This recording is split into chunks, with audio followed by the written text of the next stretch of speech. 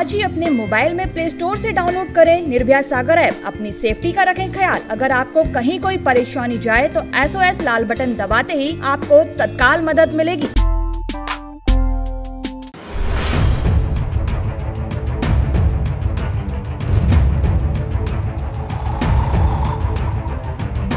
मध्य प्रदेश में कोरोना की रफ्तार दिन ब दिन बढ़ती ही जा रही है। एमपी में कोरोना अब दूसरी बार सीएम हाउस तक पहुँच गया है। गुरुवार को मुख्यमंत्री शिवराज सिंह चौहान के बेटे कार्तिकेय चौहान भी कोरोना से संक्रमित हो गए हैं। उन्होंने सोशल मीडिया पर यह जानकारी दी।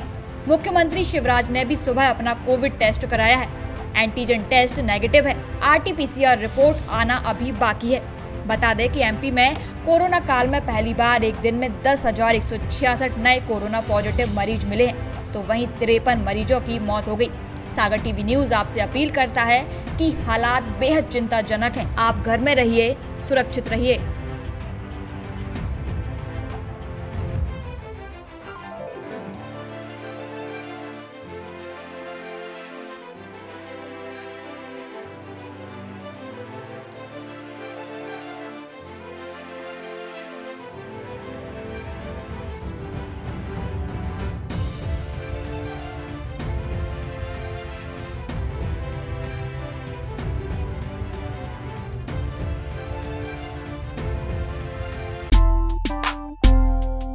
मुसीबत से अब घबराना नहीं आज ही अपने मोबाइल में प्ले स्टोर से डाउनलोड करें निर्भया सागर ऐप। अपनी सेफ्टी का रखें ख्याल।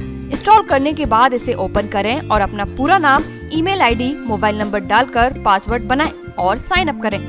सबमिट बटन दबाते ही आपका रजिस्ट्रेशन ऐप में हो जाएगा। इसमें अपने सबसे नजदीकी केयर टेकर या परिजन का मोबाइल नंबर फ़ीड कर add emergency contact button press करें। सारी प्रोसेस के बाद अगर आपको कहीं कोई परेशानी जाए तो एसओएस लाल बटन दबाते ही आपकी सूचना कंट्रोल रूम समेत परिजनों के पास पहुँच जाएगी और तत्काल आपको मदद मिलेगी।